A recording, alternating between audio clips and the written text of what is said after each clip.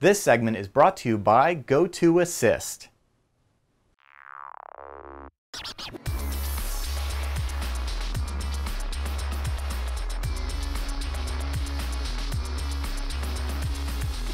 Here at DerbyCon 2012, we've got the pleasure of being joined by Matt Lichtenberger. Hi, how are you, man? I'm doing all right, Darren. So tell me about your project with the Arduino stuff. All right, so I have an older Android phone, and unfortunately, I've been suffering from the lack of all these new features that all the newer ones come with.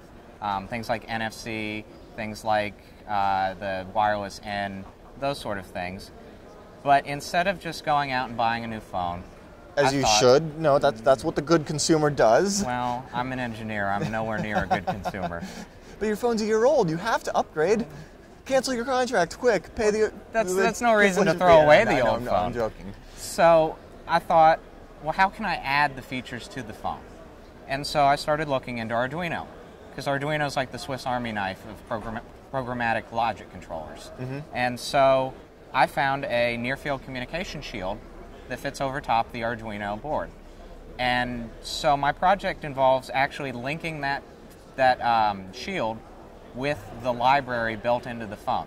See, Android's had those libraries since 2.3 Gingerbread. But unfortunately, even though the software has always been there, none of the phones of that era or before actually had the, the hardware support. Ah, so you're saying you want to augment the phone hardware-wise using an Arduino with the NFC Shield and use the existing software that's on there for NFC. Exactly. Kind of a pass through mode, as it were.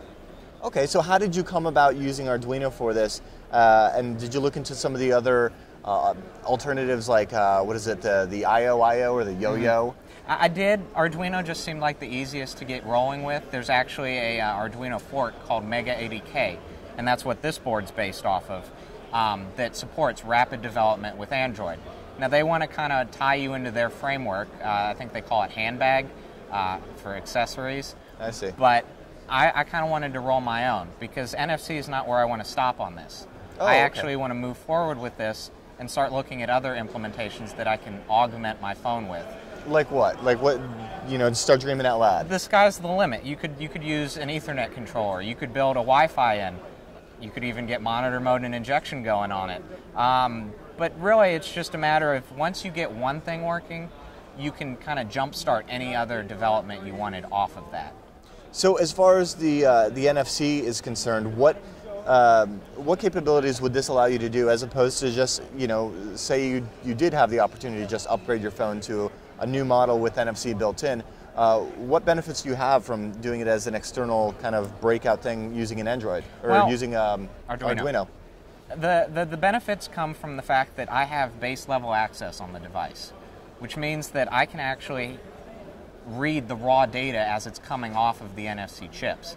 Granted that initially I'm just going to be passing it on to Android and let it deal with all of that minutia, but there's nothing saying I can't also run an, an Android application that logs all of that information and builds a table of features. Like, like an. NFC sniffer. Yes, yes. Or and then you know start working on the range. So what kind of fun Arduino or not Arduino? Fun NFC hacks have you been playing with with this? Um, really, it's just more been getting it working. Um, I'm still fairly n- initial into the project, but um, some of the hacks that I've seen, um, I don't know if you've seen the news, but Samsung recently had an issue with their phones. They um, they found out that you can actually invoke the dialer app using NFC completely independently of any user authorization doesn't seem like that critical of an issue until you realize that you can send a USSD code into the dialer app. Okay, so what's a USSD code? A USSD code is kind of like the thing that you see when you're setting up call forwarding. You, you do like asterisk, seven six, seven six, asterisk, and then the number you're forwarding it to. There are manufacturer specific codes that allow you to invoke certain programmatic features that you wouldn't otherwise have access to. Aha. One of them that was undocumented is for Samsung phones is factory reset. Well, I mean that makes sense. So for them in the factory, Mm-hmm. when they want to just, you know, they get a whole bunch of returns and they need to refurbish those units, they can just hold it up against the factory reset unit. Yep. Wonderful. But that means that I can also hold it up against my own factory reset unit. You could like hide this board under this table here, this coffee table at And the anyone who conference sets and it sets their phone down and they're like, what the it back hell? up. No more phone calls. Now, you said in, the one that actually invokes the dialer, does it actually allow you to hit send, or is it just pre-program a number in there? No, it actually will send it through. Oh, that's it's a awesome. completely passive bypass. So you could have it dialing 900 numbers and all sorts of fun stuff. Theoretically, yeah. That's pretty cool.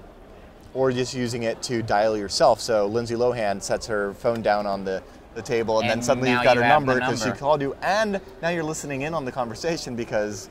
Anyway, sorry. Just thinking. I'm At thinking call hacker style. forwarding, you just set up a call forwarding on her number. That's- intercept all of her calls. That's crazy.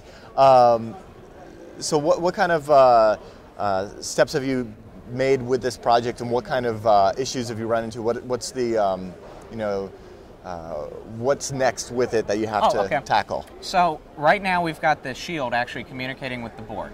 So I can get it to talk between the Arduino board and the actual NFC chip, read data off of tags, what have you.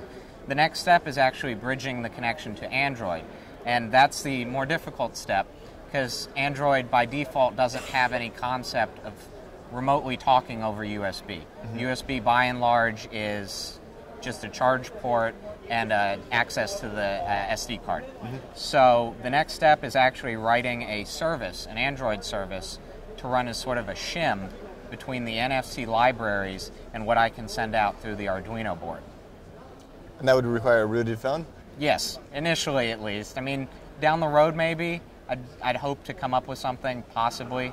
I really haven't investigated that that far. And is this something where uh, it's like a matter of using OTG, or, or do you have to write your own host mode drivers, or what?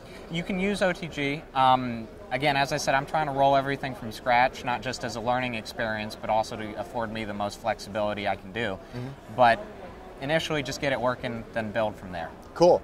And so, where can people follow the progress of your build, and uh, if they've got some ideas, contribute to the project? Oh, absolutely. Um, so you can go to jousterl.com. That's my uh, that'll link to my personal blog off of my company page, and the most recent post contains a link to the GitHub. Great. Thanks so much, Matt. Really Absolutely. appreciate it. Thanks for meeting with me, Darren.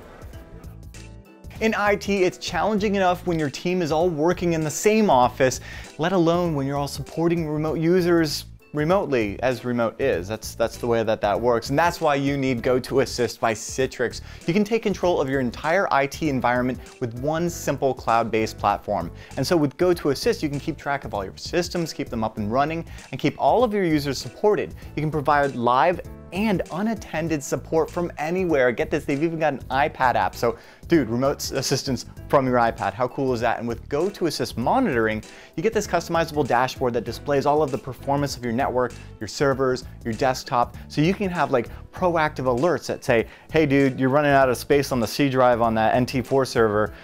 Maybe it'll say you might want to upgrade your NT4 server. But otherwise, it's like, take care of those little problems before they become a huge headache. Make yourself look like an IT hero.